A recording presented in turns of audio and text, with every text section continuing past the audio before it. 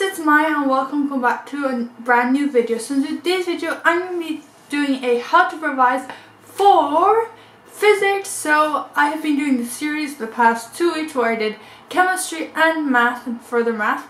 So you guys really enjoyed it, so I'm going to continue with this series. And if you want to see more of these videos on how I show you how to study for these subjects in anything, GCSEs, A-levels, it's pretty much the same. Well, not the same, but like the study techniques are pretty much the same so if you want to improve your study techniques or just want to learn some new ones you should definitely stay tuned and watch this video and watch all of the others and there are more to come in the future so you should definitely subscribe and give this video a big thumbs up and turn those notification on because I know I post every Saturday but sometimes I can't post on Sunday because I forget and because of school and everything but yeah I'm gonna stop blabbing and without further ado let's get started. Okay guys, so for me, physics is quite a tricky subject. Like, I'm pretty okay at it, but I don't love it as a subject itself. It's a, I understand a lot of people like it, but personally for me, I find it not the easiest thing and not the most enjoyable topics. I'm not trying to offend anyone, but that's just my personal opinion. Each person can have their own opinion. So I do struggle sometimes studying for physics but in the end, if you just study, you can still manage a good mark, as I've figured out from personal experience.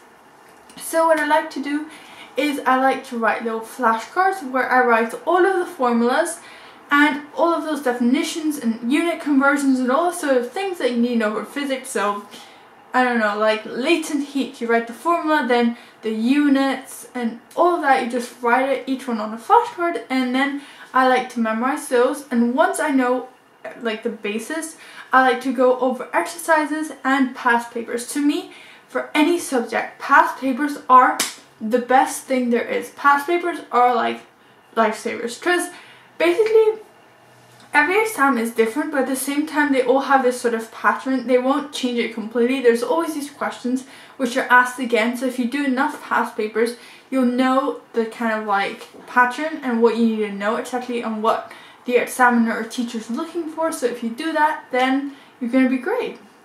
So I like to do past papers, I do my flashcards, and finally I always just review exercise we did in class. And when I'm in class, I like to pay attention because teachers might just be a, oh yeah, this is a question that might appear in the test. Oh yeah, this experiment will probably appear in the test. So I like to always pay attention to what a teacher's saying, write it down, and just revise all of that. So that is basically me talking. And now I'm going to do a short study with me for physics because I have a physics test on thermal physics, which is great. Not that fun, but it's just a small test to revise and I need a study for that. So let's get into the study with me.